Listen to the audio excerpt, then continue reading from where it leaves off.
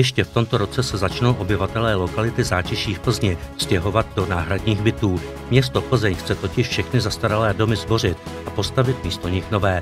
Celkem se má jednat o téměř dvě stovky bytů od velikosti 1 plus KK až po 3 plus 1. Tyto byty pak budou nabídnuty jak současným obyvatelům zátiší, tak lidem, kteří potřebují sociální bydlení. V zemi tady padne 23 domů, ve kterých je 92 bytů. Místo nich bude postaveno 18 domů, v nich bude 192 bytů. Celková investice se odhaduje na 310 milionů korun a hotovo bude v roce 2021.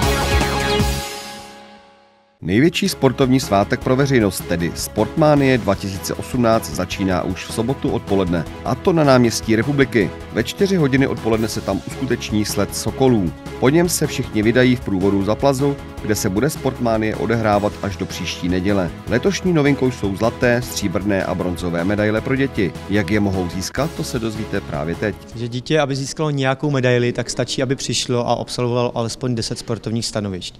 Systém medailí je udělaný tak, že aby získal bronzovou medaili, tak opravdu může přijít jakýkoliv tři dny, získat 10 razítek a získá bronzovou medaili. Avšak motivace k tomu, aby získala stříbrnou nebo zlatou medaili, je taková, aby přišlo opakovaně. Takže aby přišlo v druhém bloku, což znamená od úterý do čtvrtka, získalo znovu 10 sportovních razítek a pak může získat stříbrnou medaili. A aby přišlo i nakonec v posledních třech dnech, čili od pátka do neděle, znovu absolvovalo 10 stanovišť a poté může získat i zlatou medaili.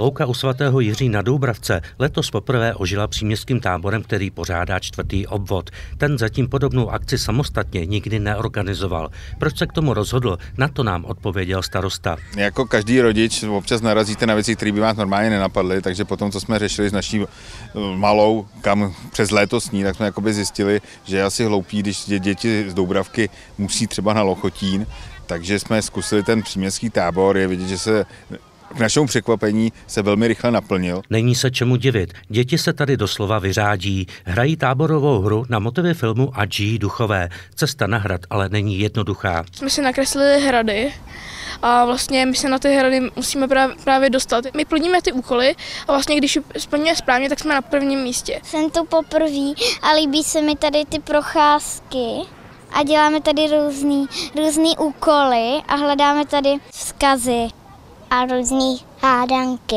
Chodíme po lese a tak. Hleda, hledáme stopy. Když nejsou v lese nebo na výletě, tak plní úkoly na louce u svatého Jiří, tak jako při natáčení této reportáže.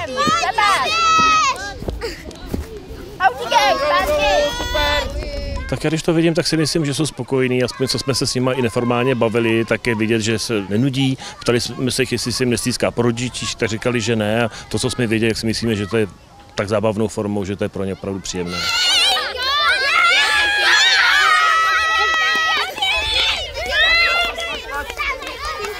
No, oni to mají vyhrát.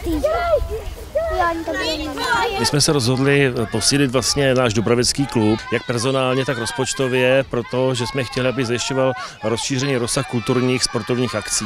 Jedna z těch akcí, která je letos prvně, je právě tento příměstský tábor. Má to ještě jedno plus. Děti si tady našly nové kamarády. Jo, našla jsem si tady dvě Anešky. Kamarády tady mám, co se našel. Mám tu kamarádku Denisku a pak Markétku a pak jsem se tu ještě s někým zkamarádil.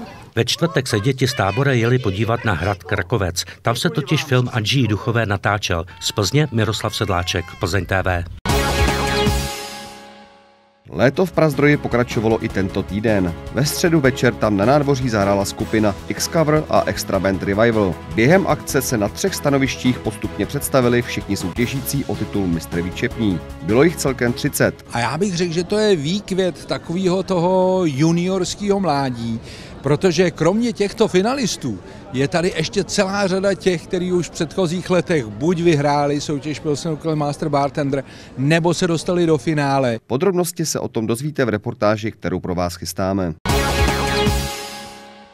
Pokud přemýšlíte nad tím, jak se důstojně rozloučit se školními prázdninami, můžeme vám doporučit první zvonění. Tato akce určená pro děti se bude konat v Borském parku v pondělí 3. září, a to od jedné hodiny odpoledne.